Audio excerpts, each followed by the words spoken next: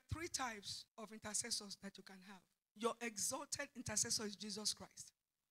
Why did I say that? The Bible says he's seated at the right hand of God the Father, doing what?